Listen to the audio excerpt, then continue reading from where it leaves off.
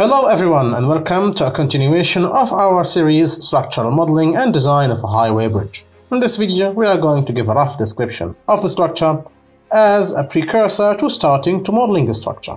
Now please notice that if you are new to this series, this is a part of a video series about highway bridges, the structural design thereof, and I'm gonna link a video on the top right. It's very important that you see the first one, which will also link right now on the top right. In this video, we are going to give a description of the structure, and as I said, we are going to be designing the highway bridge from A to Z to our best of knowledge. With that being said, I hope you enjoy, so sit back, relax, and enjoy the show.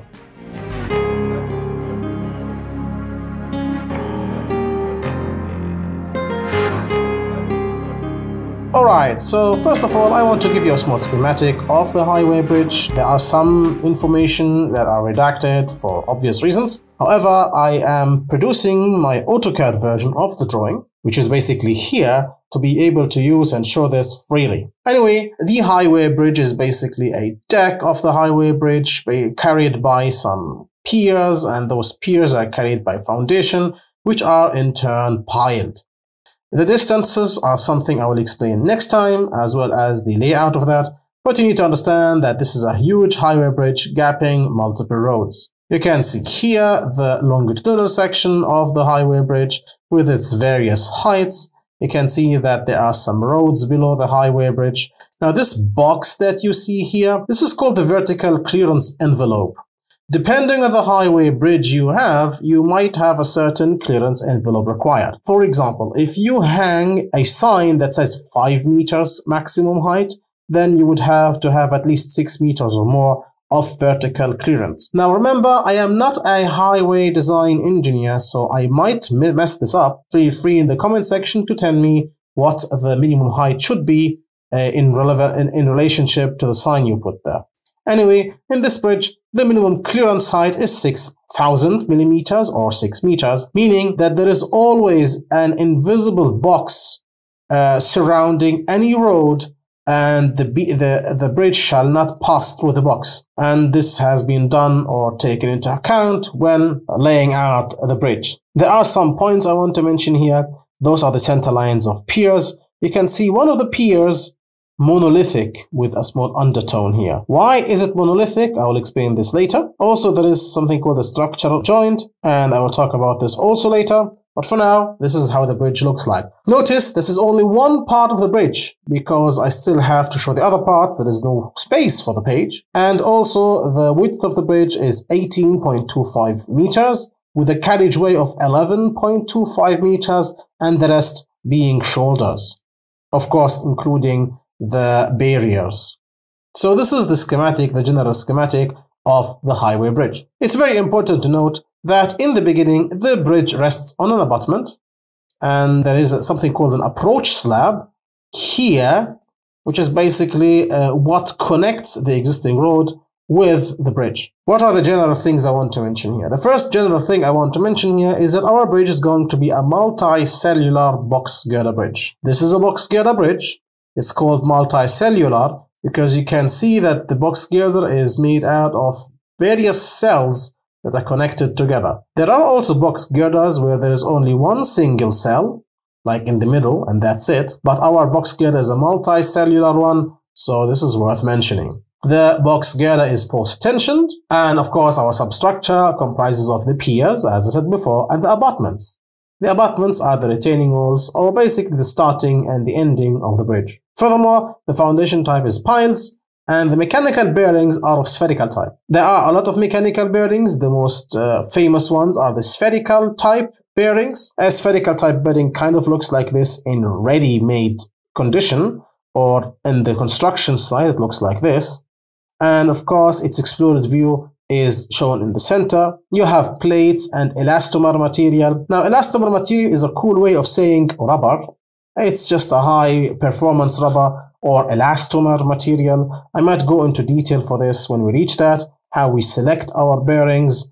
It's actually not as hard as you think. Like what you do is you have some sort of list with performance ranges for the bearings. You check out your bridge and you select your bearing based on the performance aspects of the bridge.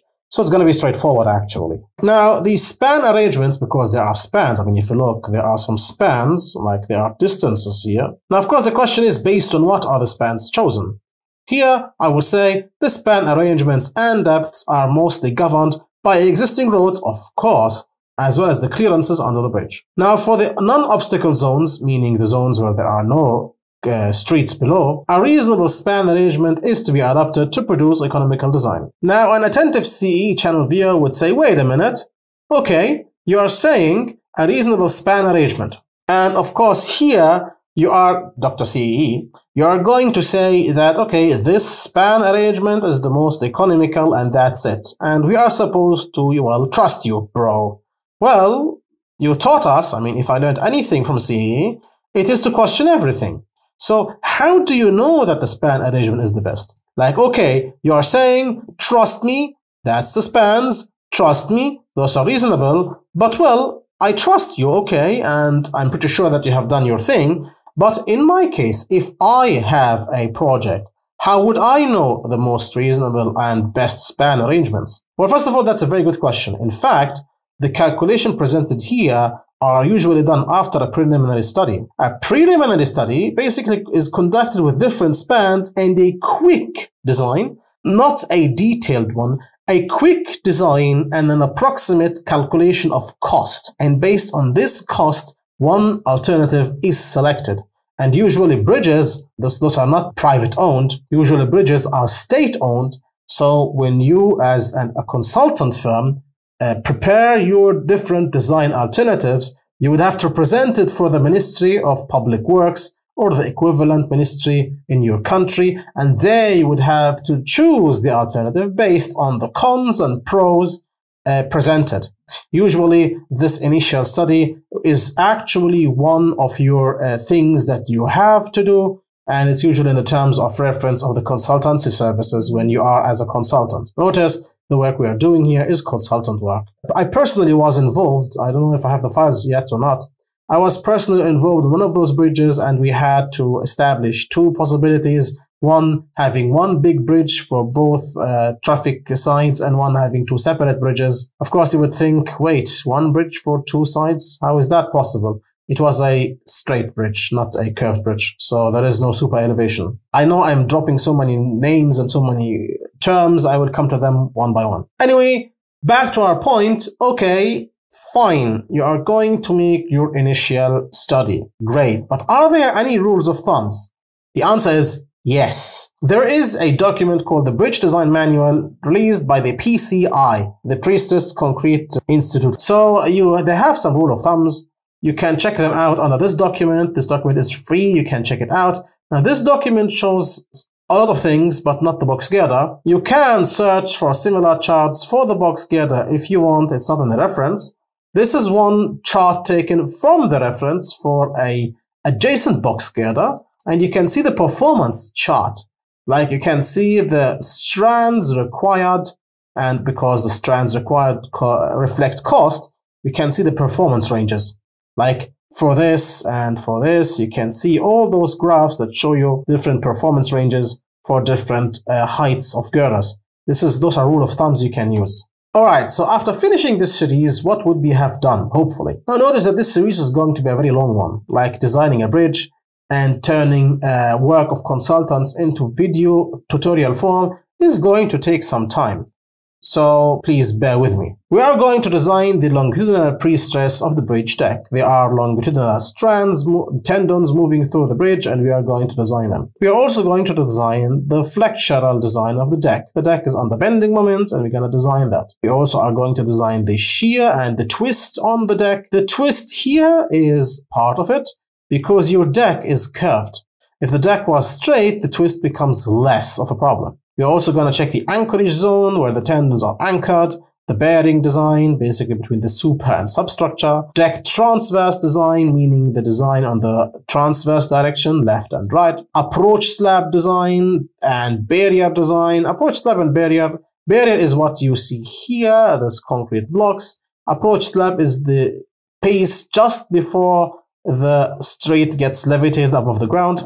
Abutment wall, head beam, piles, pile cap, there is a box culvert even, and some retaining walls. Everything is part of the scope of this video series. So it is a massive video series and I will make sure I deliver upon my promises. Also, uh, I think at the bottom here, I forgot to mention that this is another box girder that you can see, a multicellular box girder. So yeah, you have multiple things. Anyway, so I asked the team of Recorder Noob and Editor CE. I know those people just don't know how to work together, but it's kind of hilarious. I asked them to check because I want to model the bridge, right? Now, I know that this bridge can be modeled using Midas or Midas. I don't know the pronunciation of that. It's um, M-I-D-A-S. However, I want to try do this in robots. Now, I tasked Recorder Newbie and Editor CE to get a hang of it, and they told me that they can start with it. However, maybe during the middle point, I might switch to another software, depending on the abilities of robot, and I will tell you why. Because there are some questions I need to know if robot does them or not, or at least those two dudes need to figure this out. I, I hope they don't uh, let me down. Anyway, here is the approach I'm gonna do, and it's useful regardless of the software I'm using, or they are using. First of all, for the longitudinal analysis, planned is to use Autodesk Robot. Now, can it design pre-stressed concrete? Well, we need to see that.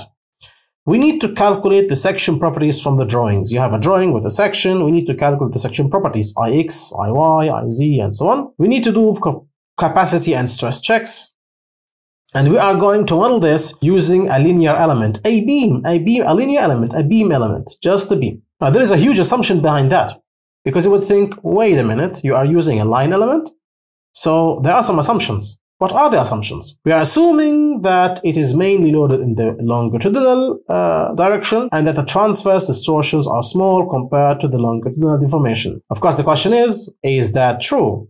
Well, to some extent. It's all about the length versus width ratios.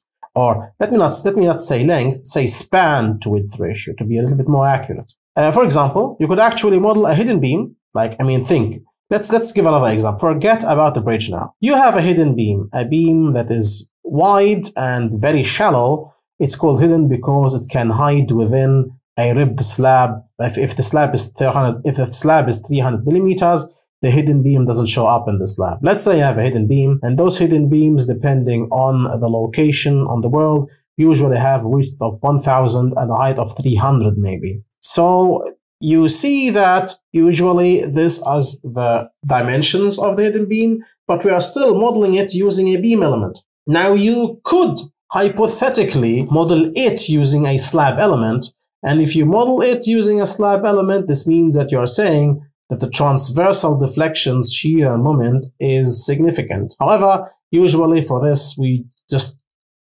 model it as a line element. This is what I'm talking about when we are saying that we are going to use a linear element to model that. The problem with the linear element is that it's going to be in 3D space because you have curvature and you have changes in height and you have changes in section. This is a nightmare scenario for modeling because the height changes each point, the section might change especially near the piers where the section gets bigger and uh, the horizontal directions or dimensions change. So there is a lot to be unpacked there. I hope that this team will be able to give me good news. Now, if we assume that the beam has ignorable transverse stuff, then, well, it works. The deck slab, the deck will be modeled using strain line segments. More to that later. Bearings are modeled with an elastic spring link. Special care is taken when connecting the bearing to the structure to reflect actual support conditions. Because the bearing doesn't support every direction, we need to model this correctly in the software. Also, for the section properties, this still needs some thinking. I am planning to draw uh, the section AutoCAD and use its commands to find the properties. Now we will be using gross section properties, meaning there is no reduction in the moment of inertia. Is this okay? Well, Yes, you are pre-stressing the concrete and soon you will learn that the pre-stressing tendons are calculated to almost eliminate tension, so your cracking in the section is actually not that severe. The E-modulus is calculated via AASHTO, the self-weight is included by the software, any extra load, for example, at the diaphragms. Now, what is a diaphragm? The diaphragm is basically the end of a span above the pier. Any extra load from the diaphragm is applied via a point load, the live load is going to be done according to AASHTO. Now we need to check if robot can actually find the worst case scenarios for the live load. For differential settlement, we need to be considerate. I will talk about this later. The gradient I explained last video is per the AASHTO LFD. And for pre-stressing forces, I need to find a way to basically model pre-stressing forces in robot. And that's the make or break thing in that robot. So I have to really ask the team to make sure that they're able to do that. For now, that's everything I wanted to talk about today. This is like a precursor to what I am willing to do in the modeling. I hope you enjoyed. And with that being said, I want to give a curved bridge size shout out to many channel members in the contributor level and the helper level whose names are going to be shown on the screen. I want to thank them from the bottom of my heart as the support of the channel is priceless to me and enables me to provide you with videos hopefully on time and with a certain quality I try to achieve and for that I am forever thankful. In the end, I hope you enjoyed the video and you found it beneficial. If you have enjoyed the video, then please consider liking, sharing, subscribing, commenting and so on, especially subscribing because it helps increase the reach of my channel. As per usual, this is the Civil Engineering Essentials channel and we'll catch you in the next video. Bye bye.